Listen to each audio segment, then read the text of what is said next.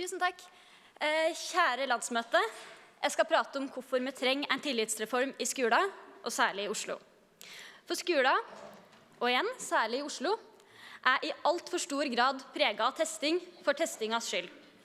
Eksempler på dette er PISA-testen og nasjonale prøver. Eh, og disse prøvene blir ikke brukt for å finne ut hvilke elever som trenger ekstra hjelp, men for å rangere skolene. Faktisk så er det flere eksempler på at elever med dysleksi ikke får ta nasjonale prøver. Kjære landsmøte.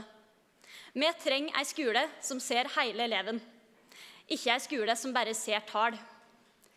Et annet problem det er at lærerne ofte blir pålagt nye rutiner og mål fra ledelsen.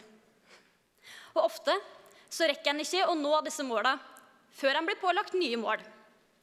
Dette gir lærerne lite handlingsrom og få muligheter til tilpasning. Vi trenger ei skole som har tillit til lærerne, som gir lærerne mulighet til å se enkelteleven og hva enkelteleven trenger. Det er lærerne som kjenner elevene best, ikke Utdanningsetaten. Og så skal jeg avslutte med en liten historie. Eh, da jeg gikk i 7. klasse, så hadde jeg så sceneskrekk at det bare var så vidt at jeg turte å stå helt bakerst under barneskoleavslutninga.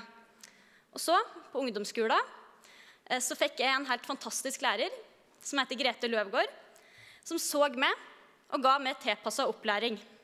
Fra og med 8. og i 9. og i 10. Og nå studerer jeg sjøl til å bli lektor, og jeg tør faktisk å stå her på, på landsmøtet og prate her til dere.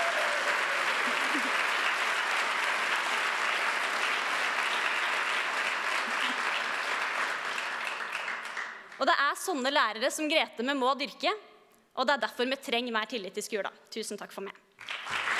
Takk skal du ha.